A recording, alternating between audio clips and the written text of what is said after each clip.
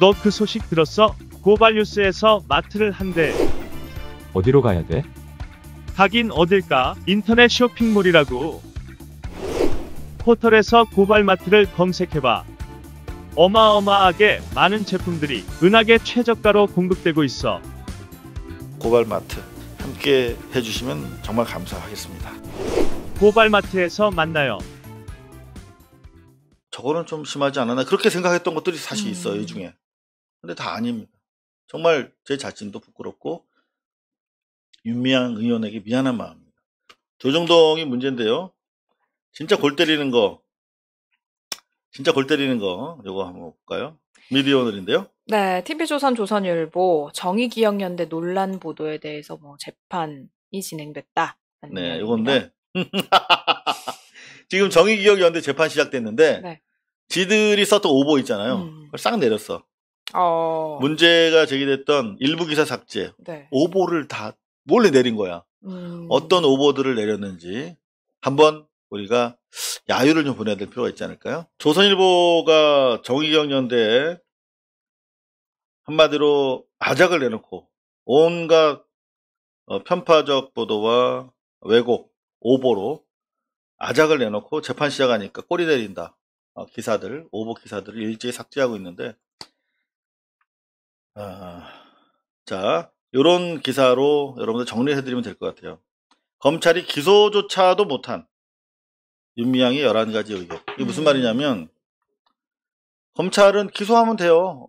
검찰이 기소했다가 무죄 받는다고 얘들이 무슨 뭐, 뭐 징계를 받거나 그런 것도 아니잖아요. 원래는 징계를 강하게 해야죠. 근데 이런 거는 검찰 수뇌부의 사실상 윤석열의 검찰 운영 지침에 따른 사실은 수사라고 보여지기 때문에 이런 거는 사실은 기소해서 무죄 나와도 되는 거예요. 상관없어. 근데 그럼에도 불구하고 지들이 봐도 기소하기가 쪽팔려. 얼마나 심각한 심각한 왜곡 보도에 따른 혐의였나 한번 보시, 봅시다.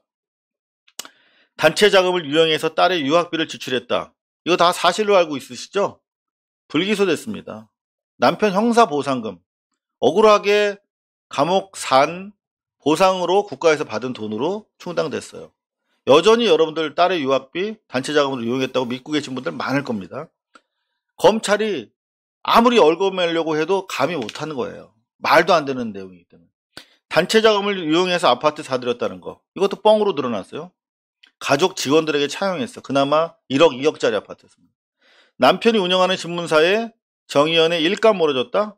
알고 봤더니 견적서 경쟁 입찰했는데 가장 저렴한 조건으로 제시한 신문사였기 때문에 채택된 거야. 검찰에서 자기 수사 결과 밝힌 내용이에요. 기소 못한 내용. 불기소 내용입니다. 부친을 쉼터 관리자로 관, 쉼터 관리자로 등재해서 6년여 동안 7,580만 원을 부당하게 지급했어. 배임이야. 이거 가지고 난리를 걔 난리를 쳤죠. 어? 알고 봤더니 부친이 실제로 쉼터 관리자로 근무했고 정당한 절차로 임금을 지급했어. 6년 동안 7,500이면 1년에 1,000만 원, 한 달에 한 100만 원 정도 아버님이 실제 쉼터에서 관리자로 일하면서 100만 원 줬어요. 음, 이거 가지고 얼마나 많은 돌을 던졌습니까? 저 자신부터도 아 저거는 좀 심하지 않았나 그렇게 생각했던 것들이 사실 있어요 음. 이 중에. 근데 다 아닙니다. 정말 제 자신도 부끄럽고 윤미향 의원에게 미안한 마음입니다. 보조금 증복 과다 지급 성관이 신고한 예금에 기부금 포함 혐의 없어. 홈택스 허위 공시 쭉쭉쭉 안성, 안성 쉼터 헐값 매각, 매각 의혹 배임 아니야. 안성 쉼터 불법 증축 의혹 아니야 맥주집에서 1회 회식에 3,300만 원 지출했다는 의혹? 이거 다 뻥으로 나타났잖아. 여러 차례에서 다른 업소에서 경비 지출한 거 합쳐서 한꺼번에 한 거잖아. 근데 하룻밤에 3,300만 원어치 처먹고 돈은 뭐 500인가 냈어? 그 차액 어디 갔어? 이런 식으로 완전히 사기꾼처럼 취급하면서 조중동에서 후려쳤잖아요. 다 정상 회계 처리된 내용이었어요. 11개 혐의에 대해서 오보와 왜곡, 마녀 사냥을 했던 겁니다. 조선일보 재판 시작되니까 기사를 삭제하고 있어요. 음, 진짜 이거는 정말 양아치들이나 하는 짓이고, 음, 사실 이 부분에 대해서도 항상 얘들이 하는 누구보다도 악랄한 집단이 저는 조선일보라고 생각하는데, 본인들은 마치 막 이런 식으로 하다가, 나중에 만약에 이게 뭐 다 이제 가짜였다는 게 뭐 밝혀지고 좀 억울함이 밝혀지면은 마치 또, 아, 억울하게 당했다. 막 이러면서 자기들은 아닌 것처럼, 음. 자기들이 마- 만약 그 돌을 던지지 않은 것처럼 또 막 그런 행세를 하잖아요. 그러니까 저는 그게 너무 역겨워요. 이게 뭐냐면 자기 마누라를 엄청 좁혀다가 음. 응?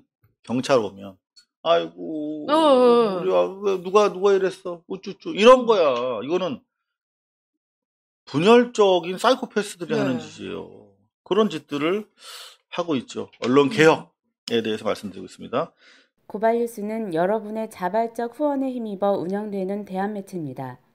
자본과 외압에 흔들리지 않는 언론으로 키워주십시오. 후원 신청은 지금 고발뉴스닷컴에서 접수 중입니다. 여러분의 많은 참여를 부탁드립니다. 감사합니다.